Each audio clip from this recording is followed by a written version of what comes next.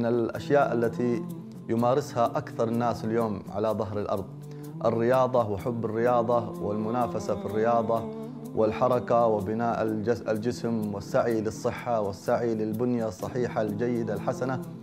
وهذا مقصد كثير من الناس يعمله ولا يعرف أنه من الأشياء التي كانت ممزوجة بحياة الحبيب صلى الله عليه وعلى آله وصحبه وسلم. الحبيب عليه الصلاة والسلام كان يدعو وكان يحث وكان هو صلى الله عليه وسلم يهتم بهذا بنفسه.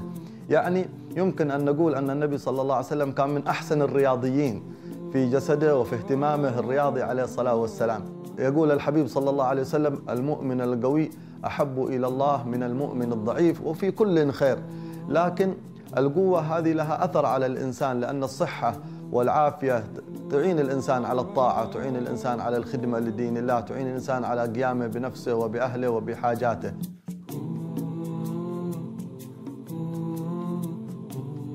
كان صلى الله عليه وآله وصحبه وسلم لما وصفوا مثلا بنيته كان صلى الله عليه وسلم قوي البنية متماسك الأجزاء. بطنه مستوية مع ظهره علامة على على رشاقته وعلى قوته صلى الله عليه وعلى آله وصحبه وسلم. كان صلى الله عليه وسلم إذا مشى كأنما ينحط من صبب وكان يمشي تقلعا. يعني شوف لما الواحد لما يمشي لما يمشي تقلعا كأنه يقلع رجله من الأرض قلع. وكان الذي يمشي معه يتعب من من سرعة مشي رسول الله صلى الله عليه وسلم. كنا إنا لنجهد أنفسنا وإنه لغير مكترث. يعني كان يمشي وكان ما كان مشيته العادية لكن كان الصحابة يمشوا وراه يتعبوا من مشيته صلى الله عليه وآله وصحبه وسلم علامة على قوة مشيه عليه الصلاة والسلام. الحبيب صلى الله عليه وسلم مارس الرياضات التي كانت موجودة في زمانه. فكان راميا وكان فارسا وكان صلى الله عليه وسلم آه، يسابق وكان صلى الله عليه وسلم يصارع. صارع ركانه وصارع بعض الناس. أي أن الرياضات التي كانت مشهورة في وقته صلى الله عليه وسلم جميعها مارسها. النقطة المهمة في هذه السنة المباركة أول شيء أن يعرف الإنسان أنها سنة. إذا عرفنا أن الرياضة سنة فإذا خرج الواحد يمشي نوى بهذا سنة أنها سنة الحبيب.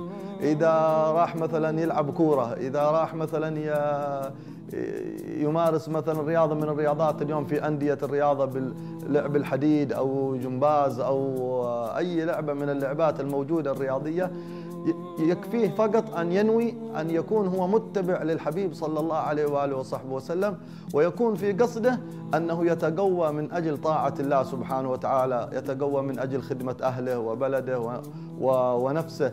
هذه ستجعل الرياضة صحتين صحة للقلب وصحة للجسد.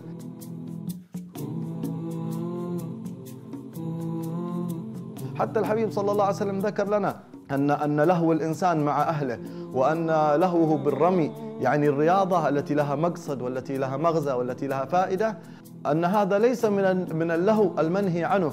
هذا لهو يتقرب به الإنسان إلى الله يشد بنيته يخدم به دينه إن شاء الله تعالى متى ما سنحت له الفرصة في هذا.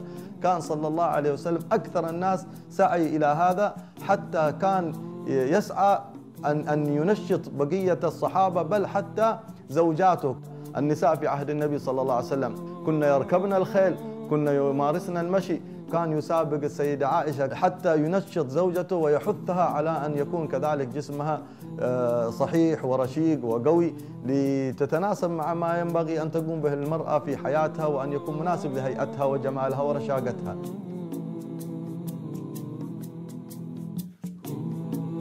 من الأشياء التي كان يعتني بها النبي صلى الله عليه وسلم أنه هو أقام السباقات بنفسه. يعني كان النبي صلى الله عليه وسلم يعقد سباقا بين الخيول بين الخيل المضمرة والخيل غير المضمرة. وكان صلى الله عليه وسلم ربما أعطى الجوائز على هذه الخيول ويصفها بالأوصاف الحسنة. كان الحبيب صلى الله عليه وسلم له ناقة تسمى العضباء. هذه الناقة كانت قوية ما كانت تسبق أبدا.